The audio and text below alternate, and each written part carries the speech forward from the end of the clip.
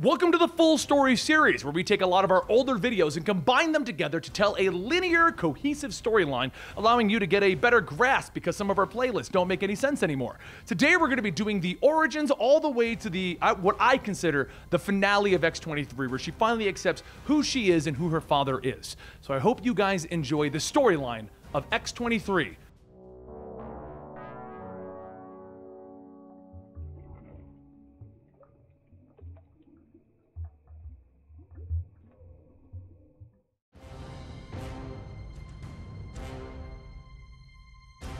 Our story begins with Wolverine breaking free of the experiments conducted on him. You see, Wolverine is a mutant that can heal from any injury, and because of this, some scientists thought it would be a good idea to experiment on him and find a way to harness this power into a weapon for use by people who do that kind of thing. Well, Wolverine got free, and on his way out, he murdered everyone in his path. But the one important individual for our story is a scientist named Dr. Rice. Wolverine murdered him, and then he left. His son Zander received the terrible news of his father's death from Martin, one of the heads of the program. And then Zander devoted his life to science, so that he can eventually avenge his father's death. So he tried everything that he could think of to create a new weapon for Martin, but it all failed until one day. Martin brought in Dr. Sarah Kinney, and she proposed cloning the original DNA from the original mutant, Wolverine, and recreating him.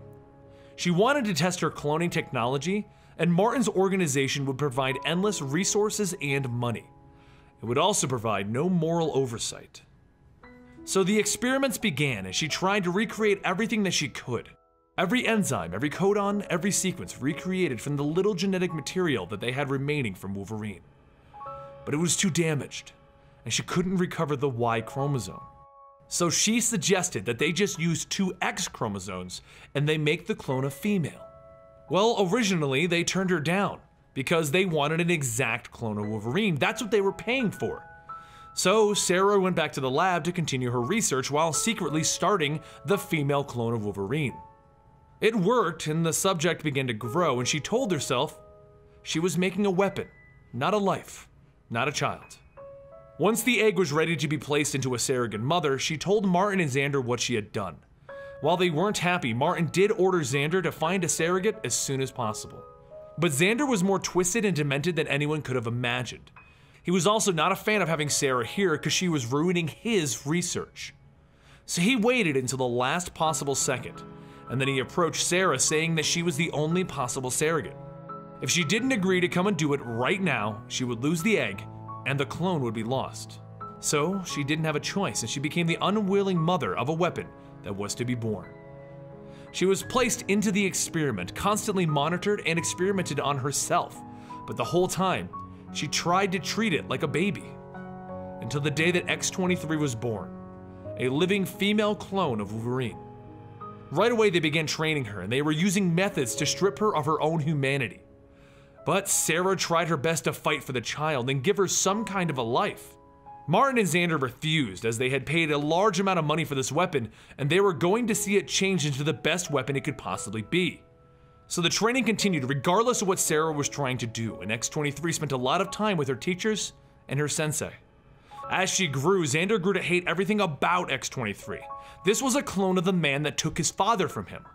He was so removed from reality and any sense of morals at this point that he began to sleep with Martin's wife.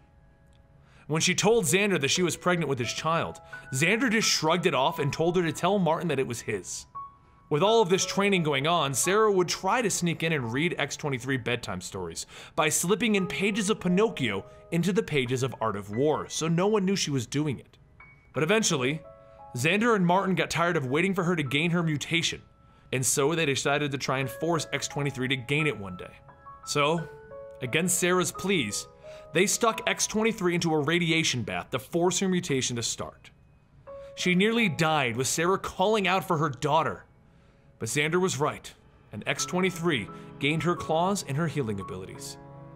This led to the next stage of Zander's torture for the clone, and he tied her down and without any painkillers, he removed her claws forcibly and laced them with the adamantium.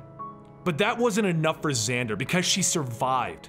So his next plan to torment the poor young girl came when he laced her sensei's sword with a trigger that they invented. This trigger would send her into an uncontrollable killing frenzy.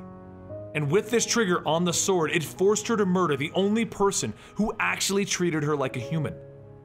She was heartbroken that day, and one of the last pieces of her humanity died with him. A few years passed, and X-23's training finally came to an end. They started sending her out to kill targets, the ultimate killer. No one ever expected this young girl to come in and murder people. So, she killed royalty, godfathers, drug lords, dictators, assassins, anyone and everyone for the right price. She was perfect, and Zander couldn't take it anymore. So one day he decided to go on a mission with her. The entire purpose was to leave her there to die, let the little clone rot by itself. Once she was set off, he killed the crew on board of the helicopter and sent out a distress call. He claimed that they took shots and they needed to leave X-23 behind. They had no option. He would have gotten away with it too, if it wasn't for the fact that this was X-23, and she just walked back to the facility one day. Shocked, Zander claimed that he had no idea how she got back there. So things went back to normal. Well, as normal as they could get. Sarah tried more often to give X-23 her humanity, and Zander got more and more twisted, in X-23, well, she just continued to wall off the world around her. All of the stress on Martin eventually started to get to him, so Zander made him an offer.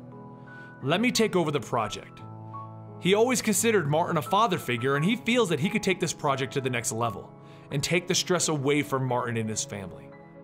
Not realizing that this was all some evil plot to take over the company, Martin went through with signing the makeshift document giving Zander all of the rights to the project. And he thanked Zander for being a caring friend. Once Martin was out of sight, Zander didn't waste any time going to his trunk where he was hiding X-23, and he gave her her new target, Martin and his family. She went inside and she murdered everyone as she was ordered to. Well, that is until she got to the child, and she saw a scared little boy. X-23 then set the building on fire as she left, and she reported back to the facility, where she was washed up like an animal by Zander and thrown back into her cell. Once everyone walked away, Sarah looked into the cell to see X-23 cutting herself, and shocked and appalled by this, she ran into the cell to ask her, why are you doing this?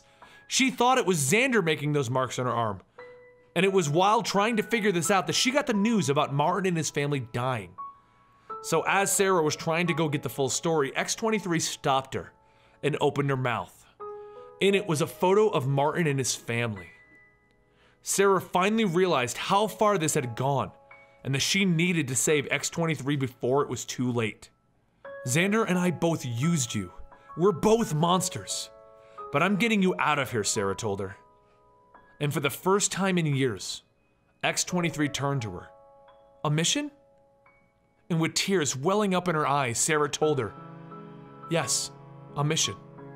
So Sarah set up a mission envelope that contained a key to X23's cell and the objective kill Zander.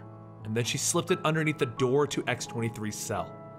She couldn't be stopped, and she ran through the entire facility in a blind rage, murdering everyone in there. And eventually, she confronted Zander in his room. She started by slicing his gun's muzzle off and then pummeling him. Because she remembered everything that he did to her.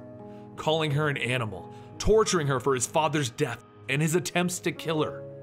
And after finishing him off finally, her next objective was to go outside and meet Sarah. Sarah planned to give X23 the life that she deserved finally. She was going to have a normal life. There were finally going to be a little girl with her mother that cared about her. And when X23 walked out of the facility, Sarah looked at her daughter and she smiled. But Zander had one final trick up his sleeve.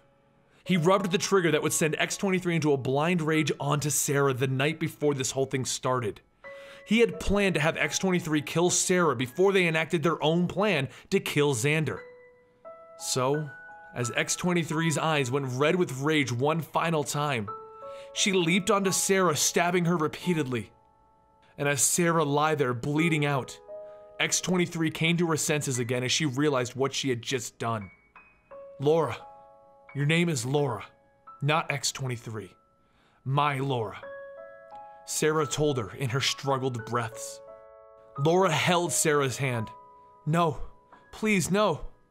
And as Sarah died, she finally got to say, I love you. And that was it. Laura curled up next to Sarah, just asking, Please don't leave me. Sarah was holding a packet for Laura at their rendezvous, and in it contained the information of the man that she was cloned from. His name was Wolverine, and he worked with the X Men. So Laura started her own journey at that point.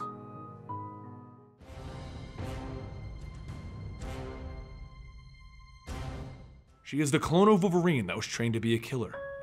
She is the girl that was treated like a thing and not a young woman.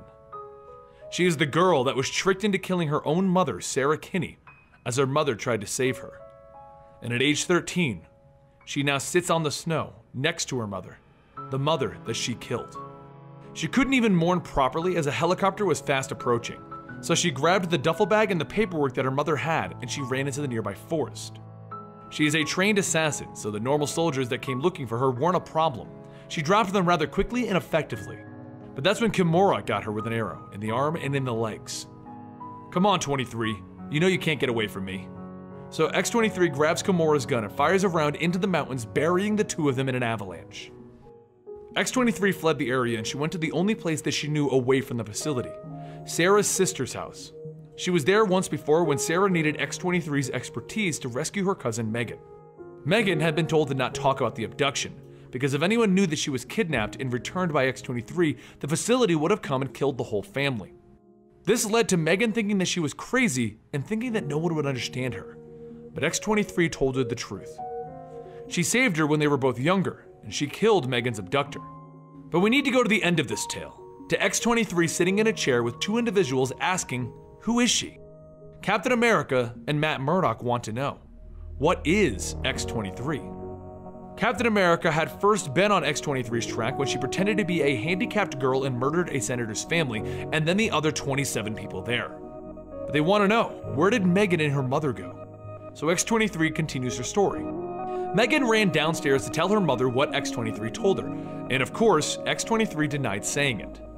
After taking some of Megan's old clothes to fit in better, Laura followed Megan and told her that the reason she couldn't admit to filling her in, she can't ever let anyone know that she was here before or is here now. But she wanted Megan to know that she wasn't crazy. Laura then showed Megan her claws and explained that this was all to keep Megan and her mother safe. So they went back to school, where Laura's lack of understanding the social norms got her into trouble with two teachers, and then suspended for yelling back at the principal so the girls stole a car and they headed off into the city for some much needed R&R. Museums, movies, roller coasters, a pet shop, and a jewelry store. They even had time to go to Dazzler's concert. Then, as the sun set, they sat down on the docks, and Laura revealed what happened to her mother. That the people who turned her into a killer also trained her to react to a certain scent. A scent that makes her black out. It was poured onto her own mother's neck, so they forced her to kill her. But as Laura explained to Captain America and Matt Murdock, the facility had already found her, she just didn't know, and they were planning to use that exact same trigger to force her to kill Megan. Desmond Alexander, Debbie's boyfriend, was actually a facility agent, and he was trying to put the trigger scent into some tea to give to Debbie and Megan. But as Megan entered the house, she swung the door open and into Desmond, and he spilled the tea on himself. He begins to yell at Megan, Oh my god, Megan, where's X23? Where is she? And Megan pauses. How do you know that name? But Megan doesn't even have time to get an answer because Laura is standing in the doorway, claws drawn. Captain America stops her right there. Did you kill Megan and Debbie? But Matt interjects. You heard what she said. The trigger forces her to act, and she is therefore acting under the influence of a controlling substance. She can't be held responsible, Steve. I heard what she said, Matt, but that doesn't mean someone isn't responsible for these deaths. Alright, so what happened after the poison tea was spilled? Laura ran into the house and she tackled Desmond, clawing him right down his back. But all the noise forced Debbie to spill her own tea onto herself. Megan began to scream for Laura to stop. Please stop! But then she remembered what Laura told her about the trigger scent and about her blacking out during the attacks. So Megan ran upstairs and she got her mother, and the two of them ran into the bathroom. They jumped into the shower and began to run as much water on them as they could, but it wasn't working. Laura sliced through the doorway and she came in swinging, ready to kill them both. But just as she was ready to take that fateful swing, the scent was washed off and she went back to normal. But the facility wasn't done with her. They sent in backup in the form of Kimura. But Captain America stops her again. This is the second time that you've mentioned Kimura. Who is this? Laura explains that Kimura was her handler, and she was enhanced to have skin so tough that not even Laura could harm her. She was the one who would punish Laura when she misbehaved in the facility. So Laura ran Debbie and Megan into the basement where she cut open a water pipe and let the freezing water run on the two of them. Then, as the facility entered the house using heat vision goggles, Laura ran upstairs and took out each of them until only Kimura remained. But that's the problem. Because Kimura was built specifically to counter everything Laura can do, and she disables her quickly, and then handcuffs herself to Laura and drags her down into the basement. She intends to kill Megan and Debbie in front of her to teach her a lesson. And then she threatened and tortured Laura with her taunts. But eventually, she left Laura with no other option. Allow Kimura to kill Megan, or kill Megan herself and spare her the suffering. Matt Murdock stopped her there. So you killed Megan? No, Laura tells him. I cut my hand off. She then attached the handcuffs to the water main and left the building with both Debbie and Megan. With Kimura screaming that she'll get her revenge while handcuffed to the water main, Laura rigged the whole building to explode and walked away as it did. All three of them drove off until eventually they got far enough that Debbie felt she could stop to tell Laura that she made Sarah, her mother, very happy. When they came to visit her that one time, she could tell that Sarah was happy. She saved her mother from a destructive path, and now she saved Megan and Debbie. She saved this whole family, and Debbie wanted to thank Laura for that. But Laura knew she had to leave Debbie and Megan. The facility would keep hunting her, and she didn't want them in harm's way again. So she left them. Debbie understood, but Megan, she didn't. On her own again, Laura had one option to find the man who started all of this, her father, if you will, the killer that she was cloned from. She went to the Xavier Institute and she stalked Wolverine for days until eventually, Wolverine got a sniff of her and he left.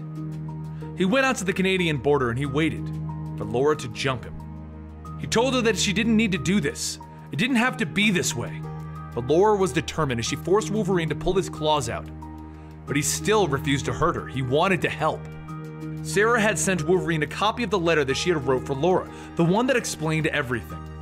Wolverine knew about Laura, and he knew what had been done to her. And when he went to the facility looking for her, she had already left. With Laura on top of him, ready to try and kill them both, Wolverine told her, If you want to kill me, go ahead. But I won't let you kill yourself.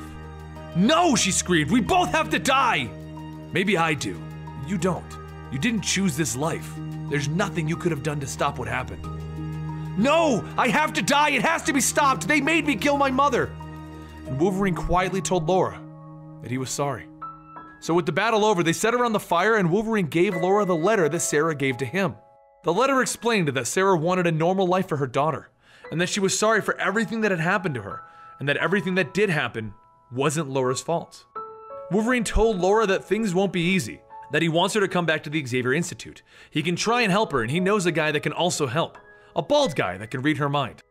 And she told him, They'll come for me, even at the Institute. Darling, they try and take you from there, and they're gonna be asking for a world of hurt. But before they could talk anymore, the helicopters began to approach, and Laura begins to panic because it's the facility. But Wolverine tells her, No, this is worse. This is the good guys. It was Captain America coming in to pick her up for all of the murders that she committed. And then he called Daredevil to act in the role of Matt Murdock and be the lawyer for this.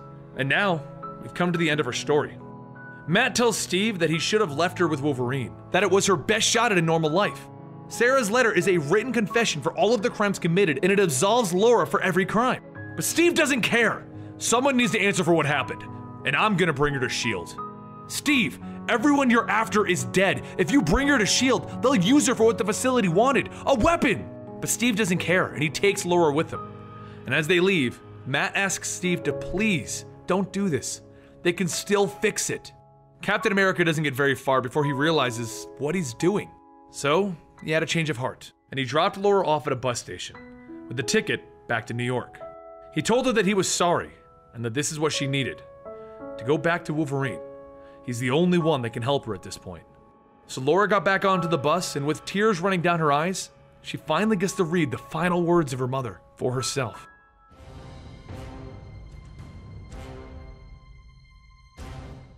Things begin with Laura taking bullets into her back. There's a sniper on the Eiffel Tower. And as she looks up at the tower, she takes a shot to the head, knocking her out. She wakes up shortly, allowing her brain to knit itself back together because she has the healing factor of the original Wolverine. As a matter of fact, she is a clone with the claws and temperament to boot. She drops her raincoat, throws on her mask, and decides that it's time for the Wolverine to go up the tower and say hello. She gets up the tower and is welcomed by the sniper opening fire on her as she cuts off the tip of the gun. They go back and forth with Laura asking her to stop, but the assassin tells her that she should be helping them. Laura takes the assassin's arm and breaks it. Doesn't that hurt? Nothing hurts. The French police arrive, pointing their guns at everyone, and the assassin leaps off the tower to her death. So Laura follows up the side of the tower, counting as she goes. One, two, three, and nothing happens I said three! Anytime now! Angel comes swooping in to pick her up. I thought you weren't coming there for a second, Angel. Just counting to three when I don't know exactly where you are and gravity is involved is a bad idea, Laura. He flies her over to the airship and she tells him to get the civilians out of the way while he drops her on the back of the ship. Using the claws in her hands and feet, she holds on tight and then she starts to tear apart the plane's guts. The whole plane comes barreling down onto the streets, blowing up, and Laura bounces away from the wreckage. Angel flies over, watching her pop her bones back into place, and she stops him. Wait, don't hug me. I have six broken ribs, a dislocated shoulder, and third degree burns all over.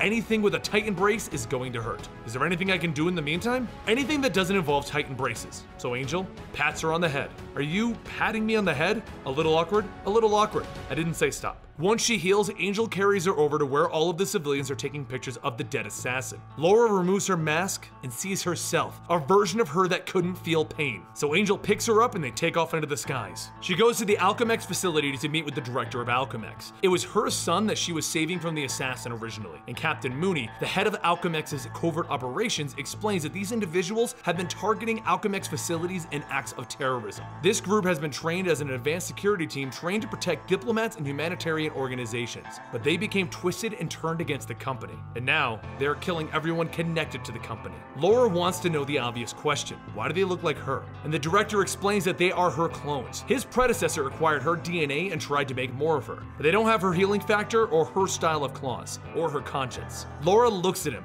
I will find them and make them stop, and I will do what's right. As she leaves, though, the order to follow her is given. She is aware of it and she scares off the people tailing her before Angel flies her up to Logan's old apartment that she now owns. She asks Angel to leave and then she turns around to the clone of her. The clone asks if Laura killed her sister, and Laura tells her no. Then she looks at Laura while digging around her fridge. They're going to kill us. I don't want my sisters to die. It was you that led me to Paris, wasn't it? Yeah, I guess I hoped. We're your clones. You know what it's like to be used. You should be helping us. I won't help you kill. They took away pain and feelings from us. Don't hunt us, help us. Then Laura begins to smell smoke and she runs into her bedroom to find a fire on a plate on her bed. When she comes back out into the living room, the girl is gone. But Laura is the Wolverine, and tracking is her game. She follows the girl to the rest of the clones, and all of them point their guns at her. She holds her hands in the air. It's okay, I just want to. And then one of them shoots her in the stomach, and then over and over. Laura wakes up tied to a chair with the girl called Bellona holding a knife to her. They tell Laura that they want to talk, and Laura tells them that she wanted to before they shot her. They try to explain that it's not them. They didn't do the explosion, and there's more to this going on than she has seen. Laura tells them quiet, she needs to be untied.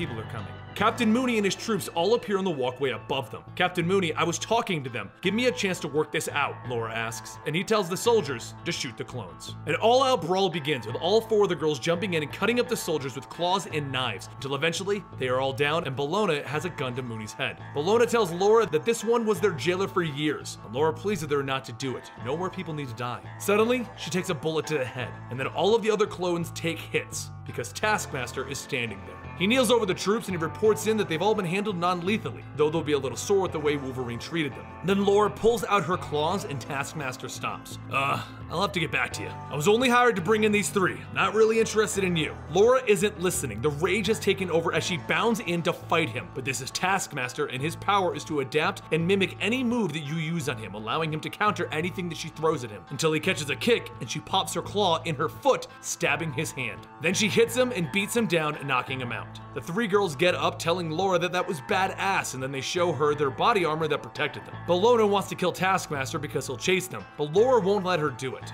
So another of the girls shoots Taskmaster in the kneecaps, while Gabby, the youngest, is putting a man's fingers next to him just in case he plays the piano. They all load up into the girl's car and they head off, but quickly the Alchemax guys get on their tails again. Laura realizes what's going on. In the lab, Mooney cut her to check if it was the real her, and they put a tracker in her. Mooney then opens fire with armor-piercing rounds shredding the Humvee. Laura tells them to stay in the Humvee, they have holes in them from the bullets. She jumps out of the Humvee into Mooney's, smashing the windshield, and then she tears off the steering wheel and jumps out of the car, stopping her slide with her claws. Mooney's Humvee plows into a telephone pole, totaling it. Mooney then pulls himself out of the wreckage and Laura walks over. If you or Alchemax Genetics comes after them again, I won't hold back. I've already beaten you unconscious once today, and now I'm leaving you in the wreckage of a car alone and bleeding. That's me holding back. She walks over to the girls to see that Zelda's laid out, and Laura asks if she's gonna be okay. But Zelda tells her she wasn't injured, she's dying. And Bellona finishes the sentence. We all are. Alchemax took away their pain, but they also took away years from the girls. And Laura has an idea to fully understand the situation, but she warns them things are about to get weird. She takes them to see Doctor Strange. He appears before them asking, What could Wolverine want with Doctor Strange? She tells him that she doesn't need the Strange, she needs the Doctor.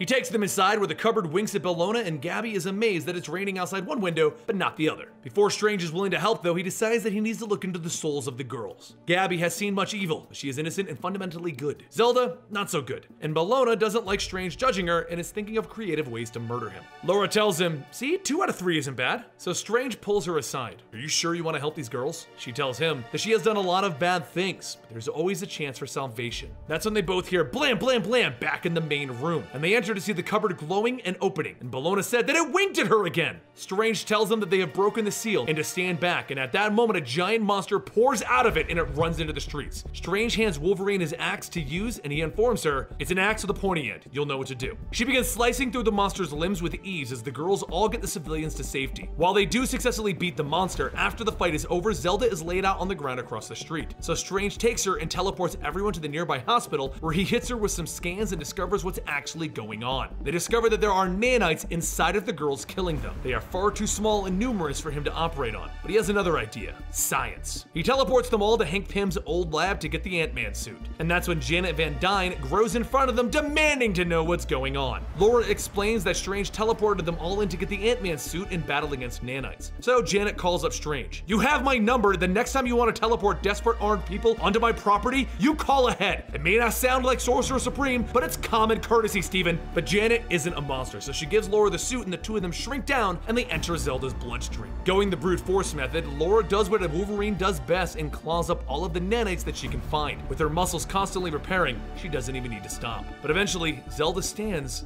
feeling better. She wants to know what's going on and Bellona tells her that it's a little hard to explain, so Gabby tries. Teeny tiny warrior women are fighting for your life against teeny tiny robots in your body. Then the windows begin to crack and Zelda sees blood on her stomach. Then she says the one thing that we never thought these girls would say. It hurts. An explosion rocks the lab and Mooney walks in telling the girls that they should have stayed in their cages. Then, as Gabby headbutts him, he throws her aside. Zelda stumbles over to him ready to fight and he shoots her again, happy that he could hurt her finally. In the pool of blood on the ground, Laura comes jumping out of Zelda, grows, and slices up Mooney. Then Janet gets behind him, shocking his head with her wasp stings. Mooney hits the ground when everyone runs to Zelda's side. Gabby can't help but say, No, no, no, no, no! Over and over. But we saved you! Yeah, you did, Zelda tells her. Then, when Laura gets over to her, she tells her, I know what you were trying to do, but fight it. Whatever is stopping you from releasing, fight it. Hurt them. They need to understand that they can bring us into this world, but they can't own us. And then Zelda dies. Janet tells Wolverine that she'll take Mooney in and that they need to get these nanites out of the other girls. But Wolverine tells her the nanites aren't killing them yet. And what happens next, they need not to feel. We're gonna go teach Alchemax a lesson. The next day, Mooney managed to take a car and drive it to the hidden base of Alchemax. He walked in and he told them that he had no idea how he got away, but he woke up and stole the car. But Mr. Chandler knows the truth.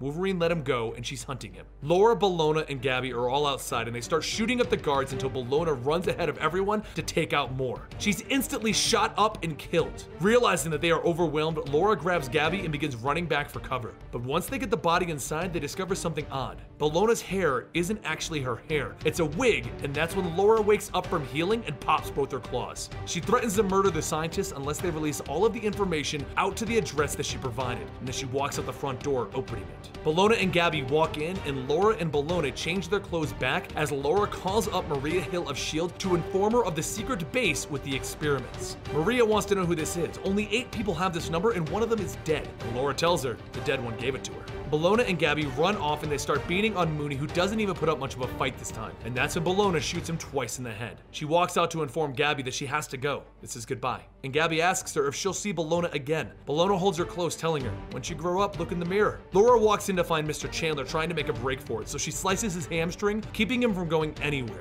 Once Gabby comes in, Laura says that they should go before S.H.I.E.L.D. gets there, but Gabby asks for a moment alone with Mr. Chandler. Laura leaves the room and Gabby pulls out her claw, telling Mr. Chandler that regardless of what they tried to do to her, she still wants to be a good person. She then stabs the ground in front of him, telling him this is how close he came. Bye! As they leave, Laura asks Gabby if she killed him. She tells her no. You're the worst at what they wanted you to do, Gabby. And that's pretty impressive. They leave the base for S.H.I.E.L.D. to clean up, and that's when Bellona is on a helicopter. The person across from her tells her, I held up my end of the bargain. I broke you out and I helped you get your revenge. Now I want those nanites out of your body. Person across from her is Kimura, the woman that tortured Laura back when she was a weapon herself. Her handler.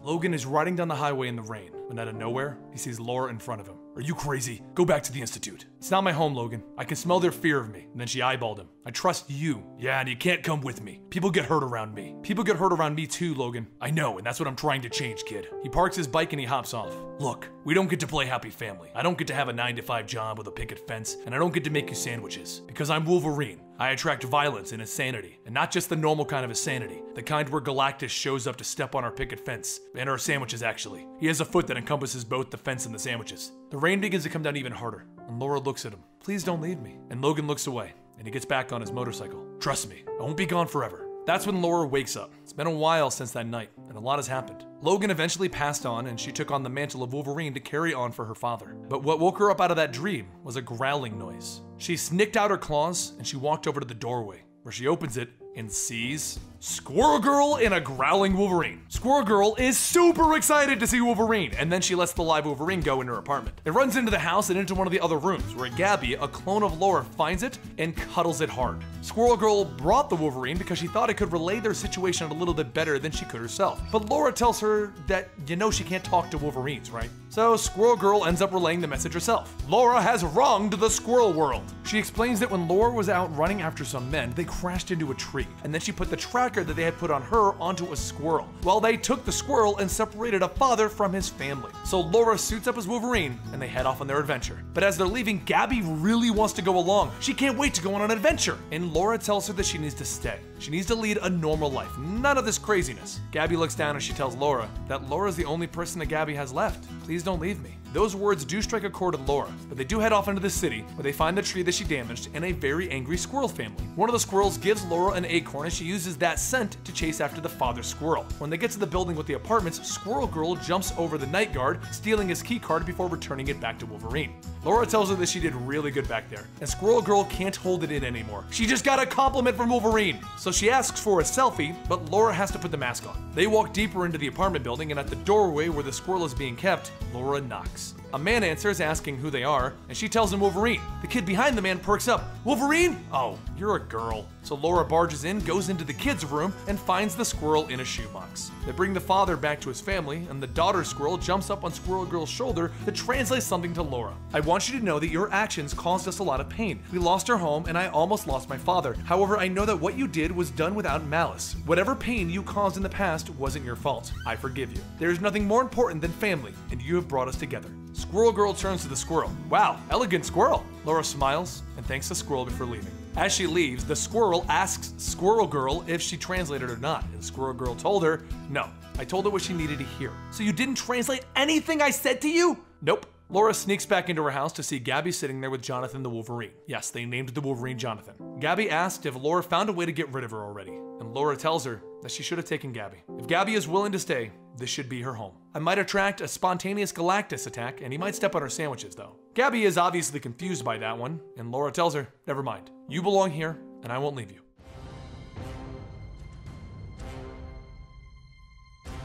Gabby is currently in their apartment playing with Jonathan, a pet Wolverine that she picked up. She smiles as she puts a mask on his face, telling him that they need to hide his identity. And then there's a shriek from Laura's bedroom, and Gabby goes to check it out, finding Laura in full costume, telling her to stay back. She leaps out the window, putting her fingers into the pose to thwip a web line, but of course she doesn't have web shooters and belly flops onto the roof of a car. Gabby rushes down in her pajamas, asking Laura, What was that all about? And Laura turns to her, Who's Laura? I'm Gwen Stacy. Meanwhile, on Earth 65, Gwen Stacy, who is also known as Spider Woman on this Earth, suddenly forgot how to play the drums while on stage with her band. The Mary Janes all look at her like, What are you doing? And she tries to slam down the drumsticks only to put her hands through the drum because Gwen Stacy has super strength. Mary Jane asks her for the drumsticks, and then she realizes that she can't get them off of her sticky hands, and she just takes off of the door. She runs outside to find her father waiting for her, and when she gets into the car, she shuts the door so hard that she breaks the glass. Super confused, her father brings her home, and an aircraft lands in their backyard.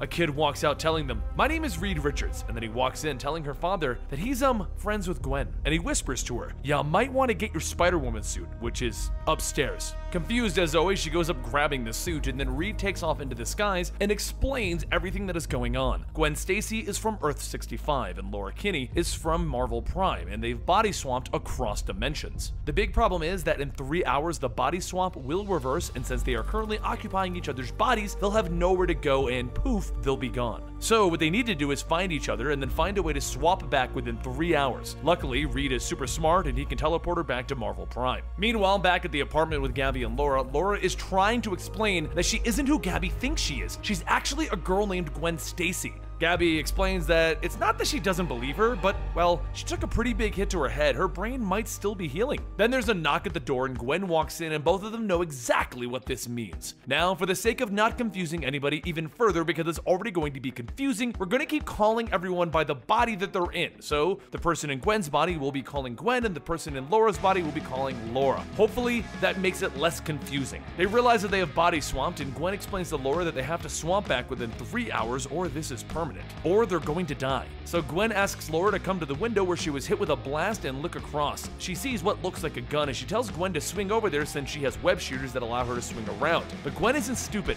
Let me guess. I'll try and then I'll fall and I'll hurt myself, so I'm gonna walk. Laura agrees, telling her that maybe it's best that she doesn't break her body before she gets back into it. On the other side of the street, Gwen kicks in the door and asks Laura, How strong are you? And Laura tells her, I broke a lot of treasured things before I figured that out. Inside, they find the gun, which is now broken by the door that Gwen kicked in, and then Laura picks up the scent of the person who used it. She keeps sniffing the air, and then she mentions how dumb she feels sniffing the air. But Gwen assures her, You're unkillable with metal claws that pop out of your hands and feet. Don't worry, you're not dumb. This, of course, is a reason to pause for Laura. Wait, I have claws in my feet and fists? Does it hurt? Have you ever had a paper cut on the webbing of your hands and feet? No, that sounds terrible! Well, this is knives coming out of them. Okay, I'm not doing that. Laura points to a basement where Gwen tears the doors off of it and they step inside. And then Gwen stops as the alarms are going off in her head. And Laura tells her that that's spider sense! A flamethrower bursts out of the ground and begins to try and roast them. Gwen grabs Laura and tries to shield her from the fire, but Laura wants to know what is she doing? Trying to save you. Well, don't! Your body heals, mine doesn't. That's a very good point, Gwen tells her. That's when someone in a flying hornet suit arrives in front of them, demanding to know why they're here. She swoops in, opening fire on them, so Laura tells Gwen to use her webs, and Gwen takes aim and hits the ceiling. The flying robot person then opens fire on them again, so Laura grabs Gwen, getting her out of the path of destruction. Then Gwen whips onto the hornet, pulling them down, and the hornet blasts Gwen into the wall. Thinking her body's been killed, Laura turns to the person, demanding to know who she is and why is she doing this. She begins to angrily shake her fists in front of her face, and Gwen tries to tell her to stop, but it's too late. With that anger, Laura pops her claws into her own head, dropping herself. The robot girl lands and pulls her helmet off, deciding that she's gonna be sick, watching someone stab themselves in the head. Gwen walks over, demanding to know what's going on, and the woman explains that she fired her beam into Wolverine's apartment to get him. You know, the short and hairy guy? So who is the girl on the ground and who are you? Gwen explains that her, well, the real her, is the new Wolverine. Logan was killed, and she is his daughter. The mystery woman is surprised. She had no idea. She's been living in this basement, living off ramen noodles for years, all to build the teleporter to send Wolverine away. She couldn't kill him. She just wanted him gone. Gwen walks over and retracts the claws from Laura's head so that she can heal, and Gwen asks the mystery woman why she wanted to send him away. And as it turns out, her uncle was the original Hornet, and Logan killed him. While she explains, Laura wakes up curious as to what actually happened. And since none of this is what Hornet wanted, she agrees to help them both get into their right spots in their own universes in the right bodies. Gwen walks over and she waves goodbye as Hornet warps her away. And then Laura goes to the same spot and is put back in her body. Hornet says, Hi, I'm Melinda. And Laura tells her her name. Laura then begins to talk about what's next and asks Melinda if she'd like to work with her. She's not going to hold an urge for revenge against her because that's kind of what her entire family's about. And then with a fwash, Melinda teleports Laura back to her apartment where Gabby and Jonathan are cheerful that she's returned.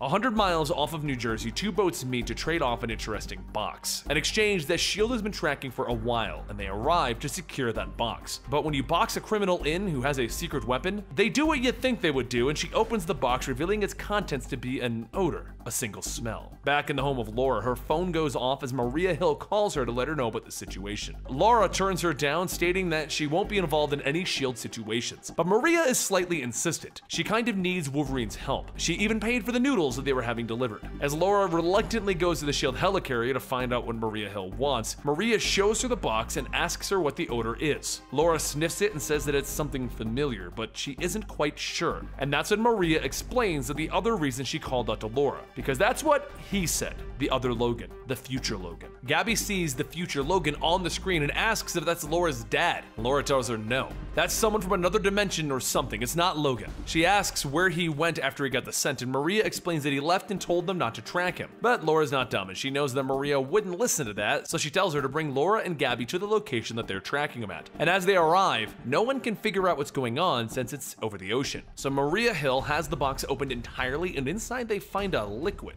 That's when it hits Laura. The box doesn't contain a weapon, it's a scent, a scent to attract Fing Fang Foom. But everyone figured that out as Fing Fang Foom rose out of the water, smashing the helicarrier. Laura figures this out all too fast. Maria, watch Gabby, I might not get another chance at this. Maria asks her where she's going, and she responds with, I know where the old man is, and she runs off the helicarrier, leaping into the mouth of the creature. Over the ocean, Iron Man rockets in, calling up Maria. Hill, I couldn't help but notice your helicarrier is under attack by a 100 foot tall monster in my city. He then flies in, blasting it in the face, but Maria tells him to stop. Wolverine is inside of there, and that's when Captain Marvel arrives to uppercut Fing Fang Foom in the face. But inside of this beast, Laura slides down into its stomach acid, calling out for Logan. Where are you, old man? And he calls out, Over here, kid. The stomach acids have eaten through my legs. So she pops all of her claws, grabbing him, and begins to crawl out of the throat of Fing Fang Foom. Meanwhile, Fing Fang hits the helicarrier so hard that it begins to crash. So Iron Man and Captain Marvel fly beneath it so that it doesn't crash too hard, holding it back from hitting the water hard. As they fall, though, Maria notices Gabby made a break for it. It turns out she grabbed a rocket pack as she flew out to meet up with Iron Man and Captain Marvel. Iron Man looks at the pint-sized girl and he asks Maria if her agents are getting smaller, and a big grin forms on Gabby's face as she explains, I'm getting very mixed emotions right now. I'm flying around on a jetpack, meeting both Iron Man and Captain Marvel, and I really love your kick-assness and hair, Captain Marvel. She explains that her sister is inside of the raging 100-foot-tall monster, and Captain Marvel is confused, asking who's her sister. And that's when we see Wolverine crawling out of the mouth of Fing Fang Foom, holding the old man. Gabby flies in to get Logan, and Laura dives into the ocean where the helicarrier is currently floating, and she crawls into the room where the scent spilled everywhere. She rubs it all over her clothes and then tells them to get her a jetpack. She then flies outside, grabs Fing Fang Foom's attention with the scent being on top of her, and she drags him all the way out to the middle of the ocean. Once she gets back to her apartment, she then realizes that Gabby brought Logan there. Gabby explains that she literally only knows this place in a cell. Plus, isn't he Laura's dad? No, he isn't my dad. He's a twisted reminder of Logan. And then Gabby notices Laura is wearing a Captain Marvel shirt and asks about that. She explains that she had to throw her clothes into the ocean with the scent on them so Fing Fang Foom would follow those. And then, yes, she flew back naked. It was cold. But as they're talking,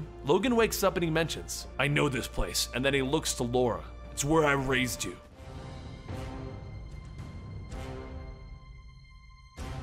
In the SHIELD helicarrier, our story begins with Ulysses receiving a vision that is going to change things. He sees Old Man Logan holding the dead body of Gabby. But forget that right now because the old man just woke up to Jonathan, Gabby's pet Wolverine, looking at him, and Gabby apologizing. He tries to sit up only to find himself tied down, demanding to know what's going on, and then wondering why he can hear whales. Gabby explains that Laura thought he might wake up confused, so she was playing a tape of whales to try and calm him down. I'm Gabby. I was cloned from Laura, who was cloned from you, so you're kind of like my interdimensional dystopian future grandfather. Laura then walks out of the other room asking how he feels, and the old man tells her, like I was hit in the gut by a giant beast. And Gabby wants to know if he was soothed by the whale song. Sure. But as they go to let the old man up, they hear footsteps coming to the door. Logan whips out his claws and Laura tells him to stop. This is her home. Two burglars break into the window and they see Laura, Gabby, and Logan all there. Gabby presses her hands together. Oh my god, are you burglars and you broke into here? Both Laura and Logan begin to snicker, and then everyone begins to burst out laughing. This, of course, irritates our burglars as they demand to know what's funny, and Logan thanks them for the laugh. So they pull out a gun, pointing it at him, asking, Is this funny? Laura tells them to take this one chance and leave right now. But Jonathan runs forward, protecting his owners, and a gunshot goes off, hitting him in the stomach. Both Laura and Logan pop their claws, but it's Gabby who leaps in screaming. Laura then cuts the gun of the other man to pieces, throwing him into a wall, and Logan gets his claws to the man's throat. But Laura asked him not to kill, so Logan headbutts him. Gabby runs over to Jonathan, and they all discover that he was only grazed. So Logan and Gabby take him to the other room to patch him up. That's when Logan tells her he knows that Gabby is hiding something. He knew her in his timeline. He looks her right in the eyes and he asks her, Do you plan to hurt Laura? And Gabby snaps, No! You swear? I swear. Okay. Before, when you did that flying knee to the kid's face, yeah, that's the kind of thing an interdimensional dystopian grandpa might be proud of. Logan walks back into the kitchen and he pops the top off of a grape juice with his claws, and he has a seat next to Laura. You've been here before, right? When you got here, you said that this is where you raised me. I knew that you were here, not in this apartment, but in this world. You were avoiding me? I screwed up so much. I hurt almost everyone but you. There wasn't one damn thing I regretted about you, kid. You were one of the only things I got right. But we need to talk about Gabby. No, this isn't your past. I don't care about destiny. I don't care about what happened in your world. She gets to live her own life and ours. Logan smiles. It's good to see you tell me off again, kid. The burglars begin to wake up, so Laura decides to call up Maria Hill of S.H.I.E.L.D. and have them hauled off. But Hill stops her. Laura, we have a team en route. Logan perks up because he can hear the sound of combat boots moving up the stairs. Listen carefully, Laura. I need you to stay calm. This isn't about you, it's about him. He's going to kill Gabby. Outside, Laura can see Captain America waiting to bring Logan in. Cap leaps up to the window and he walks in, and Gabby comes running out of the room and sees him, saluting him right away. Oh my gosh, it's Captain freaking America. He explains to the group that Ulysses, the inhuman who can see the future, saw Logan killing a lot of people and someone close to him. Logan eyeballs him. What do you think, Steve? I think you should come with me until we feel the danger has passed. Laura gets in the way. Someone saw something in his head and you want to punish people for it? It's not a punishment, Laura. He'll have everything that he could ever want, except his freedom. Everyone stands there eyeballing each other and Gabby stamps her foot down. This is so tense! Then, over the radio in his ear, the soldiers report that Cap can stand aside so they can take the hostile out. Laura and Logan look at him. You know we have very good hearing, right? I wasn't feeling hostile until now. Whatever it is, isn't worth it. I'll get my stuff. And Logan walks into the other room, but the radio goes off again. Captain, he was in Fing Fang Foom's stomach yesterday. He doesn't have any stuff. Laura stands and Cap's away, so Steve slams her into a wall. The door gets kicked in and the soldiers open fire, while Laura leaps over Steve's shoulders and kicks the tranks away. Meanwhile, in the room without a window, Gabby explains that she'll protect Logan and pulls out two jetpacks. That explains that since there's no window, they have a little bit of a problem. Leave it to me, kid, he says, smiling, and he pulls out his claws. While Laura and Captain America fight it out, the old man and Gabby start tearing down the walls, running through the other apartments until they make it to a window and they jump out. Captain America jumps out after them and prepares to throw his shield, but that's when a trank dart hits him in the back, and Laura is the one that took the shot. Shield isn't done though, as they use the helicarrier to blast Logan out of the sky, right next to Gabby. He crash lands into a fountain and he pops his claws, ready to go, growling. The guards all see it. Oh shit, fire! And they all begin to pump him full of tranquilizer. He begins tearing through them, burying his claws into their guts and screaming out. Gabby flies overhead, seeing him and calling out to him, telling him to stop. Laura and Captain America both arrive at that moment, and Cap tells everyone to stand down as Gabby lands in front of Logan. Laura sees what's going on and she yells for Gabby to get back. She warns her that Logan has become feral, but she tells him it's going to be okay. Logan looks at her sad and confused, and he stabs her in the gut. You took her from me, he shouts. As Gabby hits the ground, he jumps over to Captain America, but Steve smacks him away with the shield, throwing Logan off of him. Laura runs over, unable to say anything except no, no, no, no, and Captain America calls out for the medic. In the confusion, Logan drops down into the sewers, and Laura tells him that she's going after him. Captain America tells her that he'll go with her, but she says no. You've done enough. Do you think he would have lashed out like that if you didn't pump him full of tranquilizers? Do you honestly think this prediction would have come true if you didn't attack him?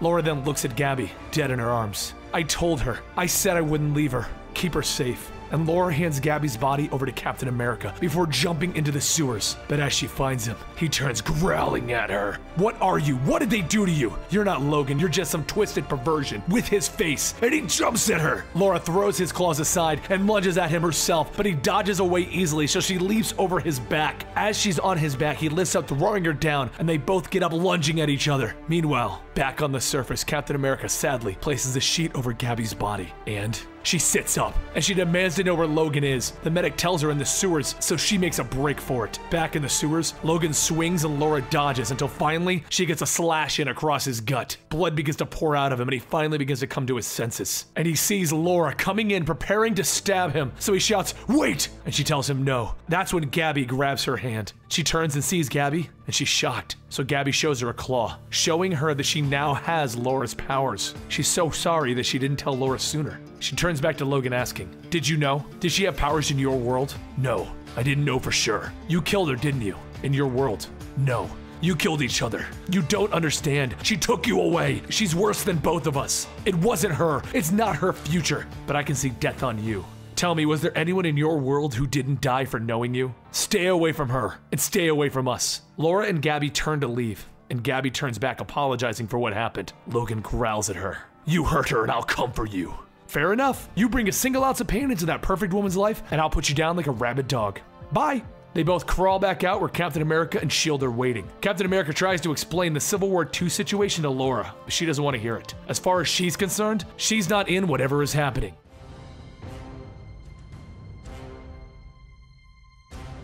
In their New York apartment, Laurie and Gabby try to live a normal life after all of the things that they've been through. One of those days, Gabby comes back from the downstairs mailbox to find a package addressed to Laura with no return address. As she looks at the package, she says that this is why they're moving. Things in this area are no longer secure for them. They've had burglars, been invaded by S.H.I.E.L.D., and even Squirrel Girl showed up, and now a mystery package. As Laura opens the box, her eyes widen as she looks down at a small vial with the word trigger written on it. She quickly throws the box telling Gabby to get her things and Jonathan, they're leaving now. After driving for most of the day, Gabby asks Laura if she can tell her where they're going. And Laura says they're headed to a cabin in California. It belonged to Logan and no one knows about it, so they have plenty of isolation there. Gabby says, You know, that's the start of a horror movie. You want undead hordes? Because this is how you get undead hordes. Gabby then asks, What about the other family? Isn't there some place they could go? And Laura says that she does have an aunt and a cousin, but she almost got them killed, and it was because of what was in that package. She then explains that back when she was born, she was raised with the sole purpose of being a weapon.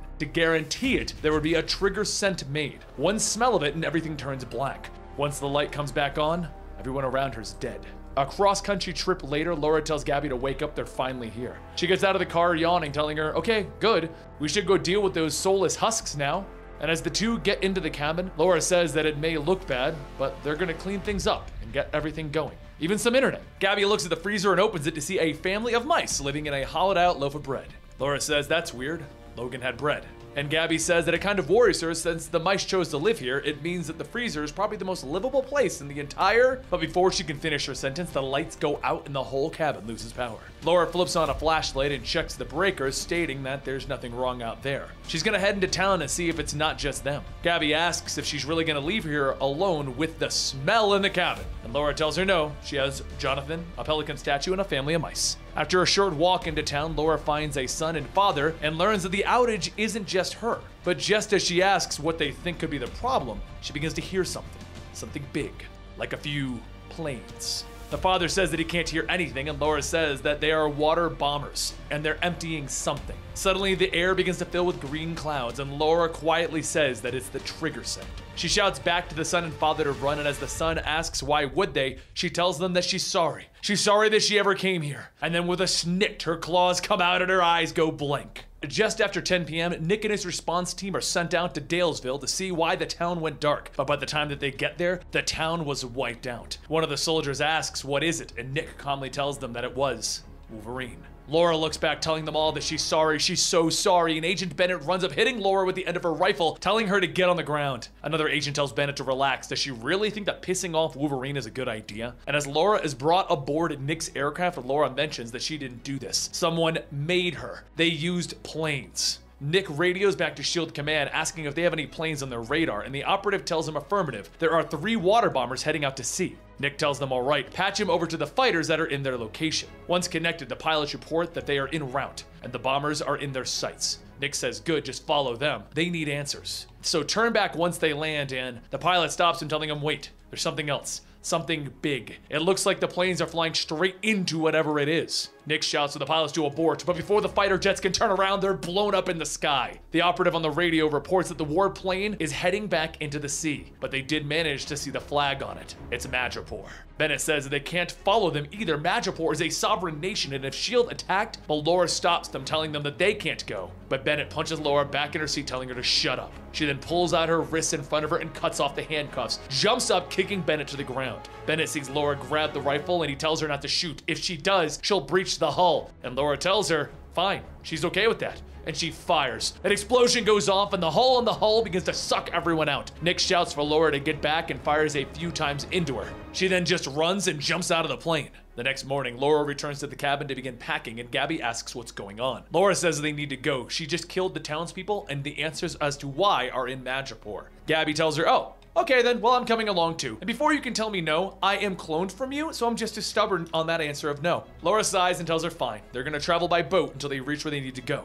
Later that night at the San Francisco docks, Gabby asks if it's an actual pirate ship. Can she say R? Also, can she get a wooden leg? Laura tells her that they're not those kind of pirates. And Gabby asks if she's sure because the woman behind them literally has an eye patch. Captain Ash tells Laura that she knows a lot of people are looking for her, and S.H.I.E.L.D. was just here, so there would be a great amount of appreciation if they don't draw attention to each other. A woman tells Bellona that it seems that her little X-23 has escaped. Is she ready to face her sister? And Bellona tells her yes, she is ready. Back with Captain Ash in her ship, Ash tells everyone that they should be out of the worst of the storm. And as everyone begins to eat, Ash tells Laura that she's sorry to hear what happened to Logan. He was an above average lover. Gabby says, ew, and Ash says it's because of him that she is doing this for them. And Laura adds, also the money, and Ash tells her, well, and that. The following morning, Ash's ships begin to reach Madripoor, and as Laura and Gabby talk about Jonathan's seasickness, Laura begins to hear someone else talking. She heads over to Ash and asks why is it that they parked so far from the port, and Ash says, well, they were just waiting for clearance from the harbor master, and Laura stops her, telling her, sure, you heard what you were transporting. Laura begins to feel a rush of pain as Ash pulls her gun back from her, shooting her in the stomach, and then the sounds of helicopters can be heard. Ash says, right. She also sold her out, so they are coming for her. Laura struggles and begins to break free from the other crew members and charges at Ash as she continues to fire, but with a quick swipe, Ash looks down at where her hand used to be. Laura then kicks her over the edge of the ship, handless, and Gabby says, All right, that was really violent. Care to share what's going on? Laura stabs a container and opens it, and Gabby asks, Why is there a container within a container? The second door opens up, and Gabby sees a group of children and tells them not to worry. The woman out there is a superhero. Laura looks back at the helicopters and says that she's pretty sure they don't want to meet whoever's inside of those, and then a man jumps out. As the giant man lands on the ship, Laura says that it's Roughhouse. But before he can do anything, Bellona jumps down on a rope onto the ship, telling him to leave them. She'll take care of this. Laura tells her that this isn't going to happen, and Bellona says maybe she can win this. Maybe she can even kill them all. And maybe the kids will become some collateral damage.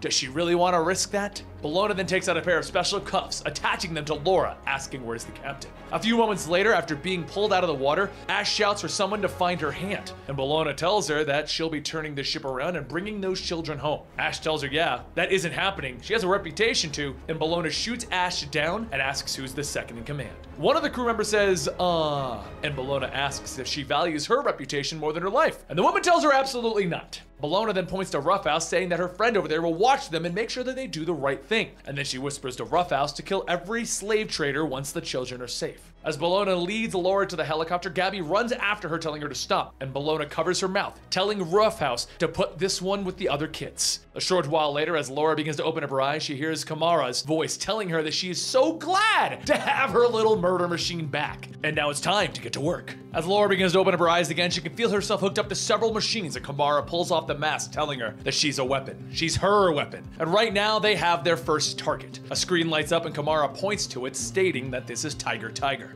Laura then asks how long did she spend on her villainous presentations? And Kimura laughs, telling her that Bellona will bring her to the window. Kimura goes on telling her that Madripoor is a golden gateway where the free market and black market come together. This is also the place where the Empire will be born, and the only thing that stands in her way of her empire is Tiger Tiger. Back at Ash's ship, Gabby tells the other kids that she's sorry, but she's gonna have to leave them now. And one of the girls asks if it's because they took her sister. Gabby says, yeah, she never called her that, but that works. Gabby then says that she's going to need some help from them. So first up, she just needs them to know that she does not feel pain. And second, please don't freak out. And finally, you need to absolutely freak out. As Roughhouse watches over the kids, they suddenly hear the kids screaming, and the girl from before says that Gabby fell, and another one says that her bones are on the outside. Roughhouse picks up Gabby, saying that they're going to go to the infirmary, and Gabby gives the kids a thumbs up before leaving. A short while later, over at the infirmary, another man recovering tells the nurse that that's gross. Her bones are on the outside! And then the nurse and the man hear a cracking and a popping sound. Gabby smiles as she puts her arm back in place and pops out a claw, asking the nurse if she happens to have a satellite phone because she's gonna need to make a quick call.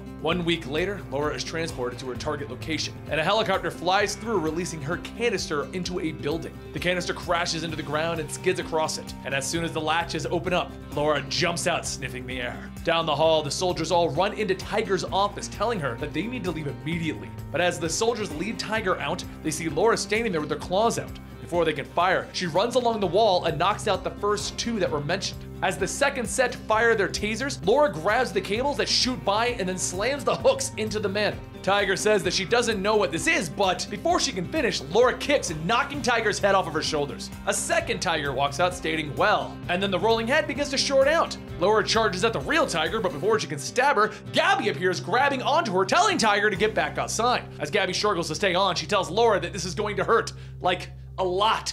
And Gambit's voice tells her, it's true. And then he charges up a card, throwing it, leveling the entire floor. Later, Laura's eyes begin to open up again, and she sees Gabby holding a rabbit, and Gabby tells her, okay, don't freak out. Laura shoots up, asking how many. How many people did Kimura make her kill? Angel puts his hand on Laura's shoulder and tells her none. She just cut the head off of a life model decoy. And those other people? Well, they're mostly okay. Gambit says that's right. Before you could kill Tiger, he blew her up. And Angel says afterwards he flew all of the pieces of her here. And please promise him that he won't have to do something like that ever again. Laura then asks, Where are they? And Angel says, At Tiger Tiger's safe house, which is practically impenetrable, and they figured that this would be a good place for her to heal. Gabby holds up a vial of the trigger scent and adds that it will also help with this. Laura stumbles back trying to get away from it, and Gabby goes on telling them that they also have the help of the world's most powerful telepath. And Jean Grey walks out waving. Laura asks what she's doing here, and Jean says essentially they'll be doing some intense mind training, and she needs to have the full support of Laura if they're going to go through with this. Gambit heads out and says that him and Angel will guard the outside of the bunker, and Jean says that that will be good. She's gonna need complete concentration. No interruptions. Laura looks at Angel and tells him that this is a bad idea, and Angel tells her that she's got this. She's Wolverine. She can kick the ass of anything. Laura then turns back to the rabbit and says that this is crazy. She's going to kill the rabbit. And Gabby says that that comes later. She will be first. As Jean leaves and the door is shut, Gabby takes out the vial and says that it's okay. She can't feel pain and she can heal. And she loves her.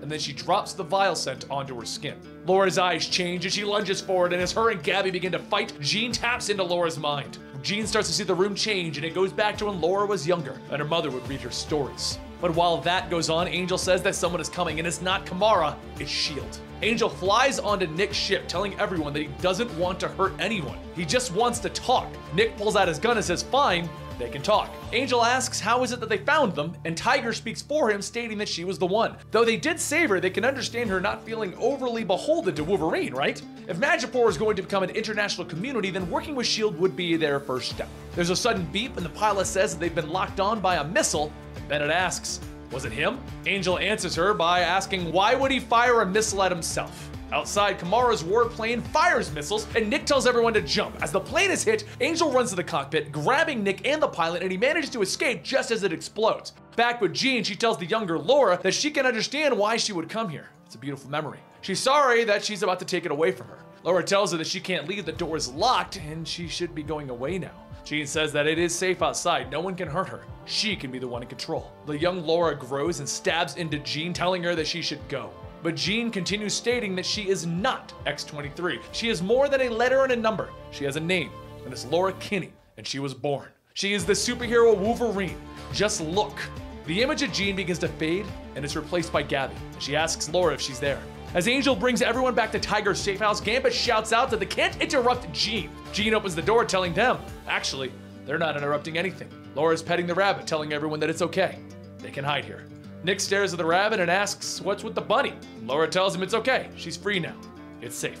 As the bunker locks behind them, Kimura walks up to the entrance, telling everyone inside that she just wants X-23 and Tiger. If they are turned over, then everyone lives, and she would much rather not quarrel with S.H.I.E.L.D. Nick shouts that she just killed some of his people. He's going to quarrel the absolute shit out of her. Nick then looks back and says that that woman who tortured her and forced her to kill everyone in Daysdale, Bennett then says even still, she has to pay for her crimes. Laura tells them that she understands, and after she deals with Kimura, she'll come with them. But as Laura begins to walk towards the exit, Gambit tells her that she doesn't have to do this alone, and Angel adds that honestly, they kind of wouldn't let her anyway. Laura then asks Tiger if there's anything in this bunker that can help them. Tiger reaches over the wall, telling them that there is something. A hidden door opens up with an Iron Man suit. And Tiger says, please don't tell Tony that she has this. It was an early prototype that she got off of the black market, and she's going to return it, really. A short while later, everyone begins to exit the bunker with their hands up, and Roughhouse looks at Gambit asking, why is he carrying a can of beans? Gambit smiles and he charges the can, throwing it into the warplane, creating a massive explosion of Frankenbeans. Okay, there was no Frankenbeans. I had to add Frankenbeans. It makes more sense. It's funnier. Anyway, as he watches, Gambit says, Damn, he might have to start carrying beans from now on. Jean then grabs everyone and helps them aboard the warplane. Gambit then throws a card at some of the oncoming soldiers, and before it can go off, Roughhouse catches it and crumples it up. Gambit radios to Laura that they're here, and she responds telling them that she's on her way. Seconds later, she comes shooting out wearing the Iron Man suit, and Angel tells her that she does know it has a helmet, right? Because she's not wearing the helmet. Laura tells her, yeah, but she can't hear or smell in it. Plus, she wanted to see Kimura's face when she finishes her. Kimura laughs, telling her that she's just gonna make her kill her friends again, then her aunt and cousin, and she tosses the trigger at everyone. Everyone stands there for a moment, and Laura asks, How is that working for you? Jean's eyes begin to light up and Kimura shouts that those powers won't work on her. And Jean asks, why would she want to control her? Roughhouse's eyes begin to glow and he swings back, knocking Kimura into the warplane. Laura and Angel begin to quickly chase after and as she falls, Kimura shoots back up, hitting Angel in the shoulder. Back in the warplane, Jean uses Roughhouse to stop Bellona from shooting them, and as she's knocked down, her mask comes off. Gabby runs up asking what did they do and Bellona says that Kimura saved her from the imprisonment and the nanites that are killing her. Gabby asks if this is really saving her. She's a slave to Kimura's will. Kimura is just using her as a guinea pig, and Bellona says that this was either going to happen to herself or to Gabby, and she couldn't let Kimura's people get to Gabby. Bellona then looks up at Nick and tells him that Wolverine didn't kill those people in Daysville. When the scent dropped, Laura stabbed herself in her own brain. Gabby then asks how were the people killed, and Bellona pops her claws, stating that she was the contingency plan. Back outside, Laura pulls Angel from the waters, and as she rubs her head, Angel coughs, asking, Are you petting my head? Laura asks him, is it awkward? And Angel says, just a little, but don't stop. As Laura smiles, Kimura punches her in the back of the head. Angel blasts Kimura back, and as she gets up, Kimura tells Laura that it's pointless. There's no way that she can hurt her. Laura rockets off with the suit into Kimura, telling her that she might be unbreakable, but she still needs to breathe. Laura holds Kimura's head underwater, shouting that she is not X-23. She is not her experiment. She is not her property. Kimura crawls onto Laura's face and she goes on shouting that she is not a thing. She is the daughter of Sarah, the daughter of Logan. She is Wolverine. And as the claws come out, the prototype Iron Man suit shatters and Laura hears something behind her. Bellona holds up her hands telling her that it's okay. It's done. Just look after Gabby for her. Laura asks what's going on and Nick tells her that it's over. She's free now. A week later, Laura knocks on a door and her Aunt Debbie answers. She asks what she's doing here. Laura tells her that it's okay. Kimura's gone. They are safe.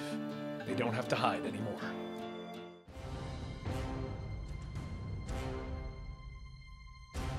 In the quiet apartment of Laura and Gabby Kinney, there's a scream as Pentagon the Pelican loses a leg. Gabby looks at Jonathan the Wolverine as he's chewing through the broken leg of the statue, asking, How could you? Laura comes in holding a leash, telling Gabby that her pet Wolverine just ate through a statue. It's probably time to take him for a walk. Gabby says maybe he doesn't need one. And Laura says if only they had some kind of universal translator so that he could tell them, oh wait, they do. After tying the small device around Jonathan's neck, Jonathan tells them, need outside, sunshine, air, taste of other bird statues. And a short while later, Gabby is out walking Jonathan. It's not long into their walk that Jonathan begins to smell something, and he immediately begins to growl and pull at the leash. Gabby tries to control him, but Jonathan just starts running full force, dragging Gabby behind him. Once he finally stops, he begins to growl towards a building with two armed guards sitting outside. Gabby looks at the building and asks, What is this place? And he simply says, Bad place. Hurt. Jonathan. Hurt family. So Gabby calls the one person that she knows who can help in this kind of a situation Deadpool. Wade picks up the phone telling her, Hi, kiddo! And Gabby asks if it's a bad time. Wade, who was in the middle of stabbing someone, tells her, Oh no, I'm not doing anything important. Gabby tells him good. There's something that she was hoping that he could help her with. Wade asks, This isn't something Wolverine can help with, is it? Is it unethical? Is it illegal? Gabby says that she's not sure Laura would help with this, so it's probably unethical. And it's definitely illegal. Wade tosses the body off his sword and he tells her, All right, I'll be right there. Once Wade gets to where Gabby is, he looks at Jonathan and says, Oh my god, he talks. Who's a sweetie little snookums? And as Wade extends his hand to pet Jonathan, Jonathan snaps at him, telling him, We'll eat face off. Gabby yells at Jonathan and Wade tells her, No, no, it's okay. We've established some boundaries, that's all. And, uh, what is this place anyway? Gabby then says that Jonathan was rescued from a lab and she's pretty sure that this is the one that he was experimented on. Wade tells her, So, you want to burn it down? And Gabby yells, Hell no! I want to save the animals! Wade tells her, Oh, of course! And then burn it down? And Gabby tells him they'll cross that bridge when they get to it, and they'll probably burn it down. A few moments later, Gabby walks up to the guards and says, Hello, I'm not sure where this sentence is going, but it's okay. I'm only here to confuse and disarm you. The men stare at Gabby, and then Wade reaches from behind, holding a cloth over the two men's faces. Gabby asks, Do you always carry chloroform? And Wade tells her, Of course! In fact, I'd like to give you this bottle. How irresponsible would I be if I let you walk around without a means of knocking anyone out? Now it's time to suit up and get to business. After Gabby gets her honey badger costume on, Wade and her just walk right in, and his security guard yells, Hey, you can't be in here. Gabby quickly takes out a cloth with chloroform, putting it on the guard's mask, telling him, Shh. The guard falls backwards, hitting his head, and Gabby asks if she was supposed to catch him. And Wade tells her, Yeah, but it's your first chloroforming. Don't stress about it. As Wade goes behind the counter, he looks at the computers and he says that the first few floors are full of animals, and he can open them all up from here. How convenient! Gabby then begins to walk towards the testing room, and Wade tells her, Hang on a second. You need to prepare yourself for what you're about to see. These animals could have makeup on. Wade pushes open the door and sees a pack of zombie rabbits and squirrels and says, Well, they are not spraying perfume in their eyes. But this also means that they have done something else. They've reanimated the dead. Gabby looks at the animals and says that those are monsters. They made zombies cute! Wade then says that he's not sure how to handle this situation.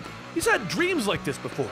And Gabby tells him that they're already dead. They have to destroy them. So she pops her claws and yells, I'm really sorry about this, but we're gonna put you out of your misery. Come hippity hop to your doom. After cutting up a pack of zombie animals, the two head down the hallway and they see a zombie sloth. Wade shouts, Whoa! We have to be careful with this one. And they stand there. And they wait. And they wait. And they wait. And Wade simply says, Okay, this one might be a little while before it becomes an actual threat. Uh, you want something from this vending machine? Gabby yells, Vengeance! And Wade tells her, They're all out of vengeance. How about a soda? And Gabby tells him that soda will do for now. But as the zombie animal killing continues, Laura sniffs the area and walks into the front door asking, Is that Deadpool? Wade spins around, surprised, with eight squirrels skewered on his swords, and yells, This is not what it looks like! Laura tells him that it looks like he just made squirrel kebabs, and Wade tells her, Okay, that's actually right. Gabby then runs up asking Laura how did she find him, and Laura tells her that she only went four blocks. Plus, she's Wolverine. Now tell her why she passed a half dead sloth back there. Gabby then says that this is the place where Jonathan was kept. They've done terrible things to the animals here. She didn't say anything because she thought that she would get mad and stop her. Laura smiles, putting her hand on Gabby's shoulder, telling her that she should have called. She would have come, and now she's here, so how about they finish this? Just then, one of the scientists runs out of a door with a shotgun, yelling for everyone to get on the floor. Wade looks at the man and laughs and tells him, Look at you! You think you're an actual threat. That's just the cutest little thing that I've ever seen. Laura walks up and says that she'll take it that he's the one responsible for all of these abominations. The scientist yells, Of course I am! They all tried to stop me, and Wade looks at the door that the scientist came from and reads the words, The Pit, spray painted across it, and asks, What is this? The scientist tells Wade not to go in, but Wade, being Wade, opens it up. Inside is a pit filled with some more zombie animals, and Jonathan says, Family. Laura looks around and sees that there's no computers or cameras anywhere. This whole thing is for sport. The scientist points his gun at Jonathan, telling him to step back, and Laura swipes her claws, cutting the shotgun in half. Jonathan begins to growl and inch towards the scientist, and as he steps back, he ends up falling into the pit with the zombie wolverines. While the scientist is being eaten alive, Wade begins stacking barrels, and Jonathan says, Leave now. Hungry. Eat bird statue. Wade then kneels down with Gabby and holds out a gas can and a lighter, asking, Would you like to do the honors? Moments later, the three leave as the building bursts into flames, and Wade says that badasses walk away from a fire and can't look back. But we should probably watch it burn. Gabby shouts, Oh, hell yes, we should. They all sit down with Jonathan stating, Old family gone, new family here. Wade begins petting Jonathan and says, Aw, he's just a big softy, isn't it? And Jonathan tells him, We'll eat piece of you while you sleep. As everyone watches the building burn, Gabby says, Wow, catharsis is really pretty. And there you have it, another full story completed.